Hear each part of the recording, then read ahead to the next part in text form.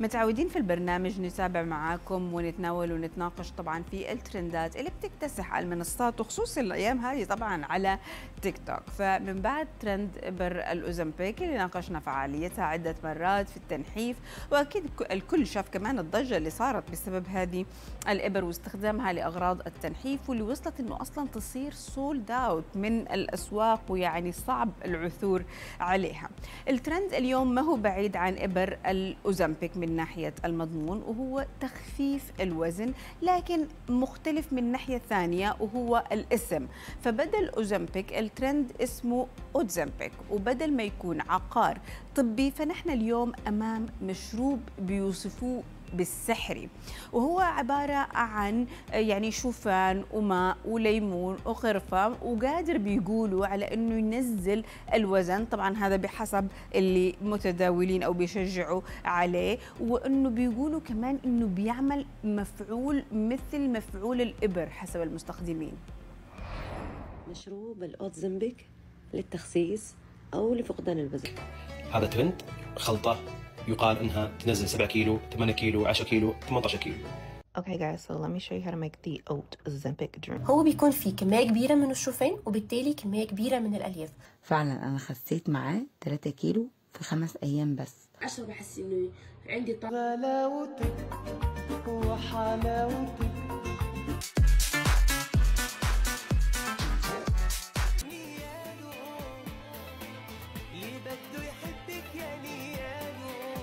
like it will be so good like it tastes really good but it doesn't unless you like the taste of grainy lime water أول حاجة تجيبين كوب آه موية ثم نصف كوب شوفان آه وحبة ليمونة كاملة this oatmeal water and lime drink and he's calling it Ozempic in a drink because he's just been dropping pounds أكيد مر عليكم خلال الأيام اللي فاتت مشروب الأوزمبيك أو الأوزمبيك آه اللي نحف 40 كيلو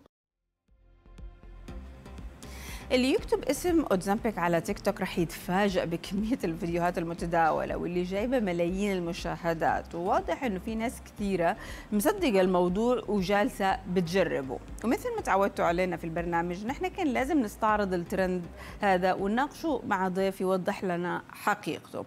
فإحنا معانا من عمان حنين السالم أخصائية التغذية العلاجية. أهلا فيكي معانا حنين. طيب يعني كده نفسي تقولي لي إنه أيوه الكلام ده صح وفعلا هذا هو المشروب سحري يعني لهذه الدرجة.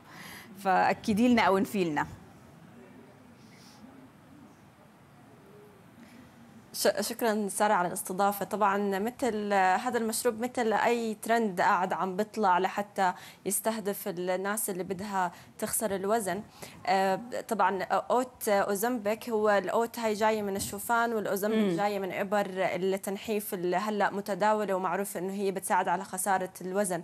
هلأ السؤال إنه هل الشوفان بيساهم بنزول الوزن؟ إذا أنا حطيت معاه حليب وليمون وقرفة مثل ما هو متداول فعليا الشوفان كثير من الدراسات بتحكي إنه هي بتساعد في نزول الوزن لأنه هو في بيحتوي على ألياف وبالتالي هذا الألياف اللي لما يكون بالمعدة لفترة طويلة رح يملأ المعدة وبالتالي لما يملأ المعدة رح يساعد على الشعور بالشبع أيوه. ورح يقلل من كمية الأكل اللي أنا عم باخذها في باقي اليوم فدائما الناس اللي بيكون عندهم مشكلة بالوزن لو نطلع على أكلهم بنشوف إنه هم باكلوا أغذية غنية جدا بالسعرات الحرارية فلما وحتى نوعية النشويات اللي بتكون نشويات خالية من الألياف. يعني مثلا أنا لما بدي آجي أقارن الشوفان مع الرز بنشوف إنه الشوفان هو عالي بالألياف بينما الرز فقير بالألياف.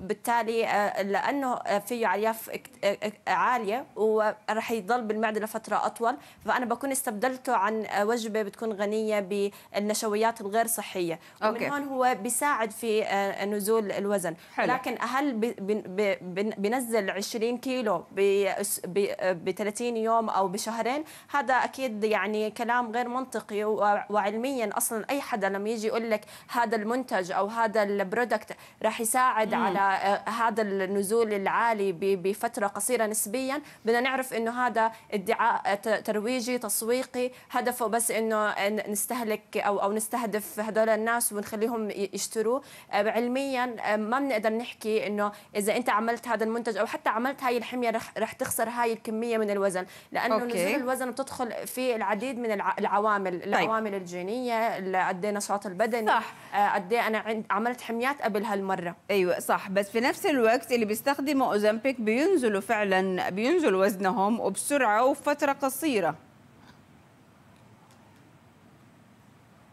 نعم نعم. طبعا هلأ آه، هلأ الاوزمبك بيختلف عن المشروب الاوتزمبك أي. الاوزمبك عليه دراسات وهو بيساهم في نزول الوزن. هو أصلا هذا الاوزمبك كان لمريض السكري من النوع الثاني. صح. ولكن هلأ صاروا يشوفوا إنه له تأثير بعملية نزول الوزن لأنه أغلب الناس اللي بيكون في عندهم سمنة بيكون في عندهم مشكلة مقاومة الأنسولين. آه، آلية عمل هاي الإبرة إنه بيساعد على استقبال خلايا الجسم للسكر. وبالتالي آه، كل سكر الدم بدخل داخل الخلية وبالتالي بيساهم بنزول الوزن. غير أيوه يعني خلص هذاك عنده آلية. الشعور بالجوع والشبع. أيوه هو يعني كانهم بيحاولوا يقنعونا إنه زي ما الأوزمبيك يعني بيسد النفس بسبب الأشياء الكثيرة اللي بتصير في الجسم الشوفان بيعمل هذا الشيء. طيب ال يعني اللي بدي أفهمه منك يعني طب إذا ما له فوائد قد كده إنه الواحد ينحف عليه هل له أضرار طيب هذا المشروب ولا يعني ماشي الحال يعني؟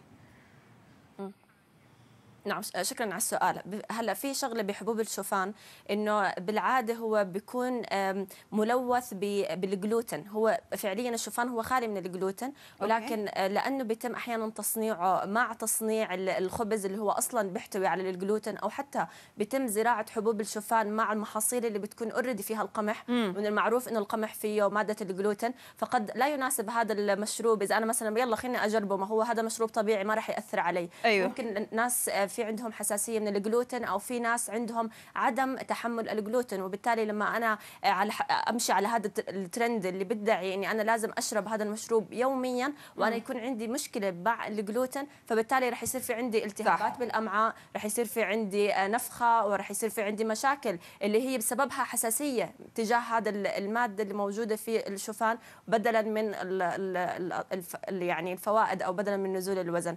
طبعا إحنا كمان بدنا ننوه إنه كمان الشوفان هو مش خالي من السعرات الحرارية. دائما في مفهوم عند الناس إنه آه صح. أي شيء صحي فهو آه، خالي من السعرات أو هو بينزل الوزن. هذا لا مش بالضرورة. صح. يعني مثلا كل نصف كوب من الشوفان هو تقريبا بتحتوي على 80 سعرة حرارية. فإذا أنا بالغت بالكمية ممكن أيوة. الشوفان يساهم في زيادة الوزن. أيوة، هو الناس بتتعامل معاه قد إيه أنا عم باخذ إيه كأنه ما في سعرات. بس خليني أسألك يعني بس سريعا حنين. يعني الناس دحين هدول اللي طالعين في كل الفيديوهات هذه اللي في تيك توك وكده وجالسين بيقولوا نحفنا 18 نحفنا 20 كيلو. يعني هدول بيكذبوا علينا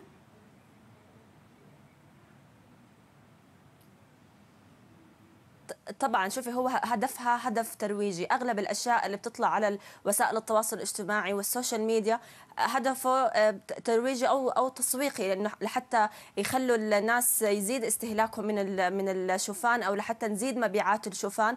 تطلع الترند هذا الترند أنا بموله لحتى أخلي الناس آه، تتجه للشوفان وتزيد مبيعاته. فهو هدفه تسويقي ما مستحيل أنا بشهر أنزل 20 كيلو. ولو لو في. آه، خسارة 20 كيلو من هذا المشروب هو بيكون آه، نزول غير صحي آه، وما بيكون هو فقط من الدهون. فبالتالي طبعا هو مش مش منطقي وعلميا مستحيل أنا أشرب مشروب ينحفني أو يذوب ال- الدهون. امم طيب يعني كنت أظن كنت أظن خاب ظني. يعني الواحد برضو كان عنده يعني أمل شوية. يعني يلا. طيب آه، إيش نسوي؟ خلاص انتهى الأمل هذا. شكرا على هذه ال- ال- الأساس الأساس هي الحمية. يعني بس إحنا نعمل إحنا والله حافظة.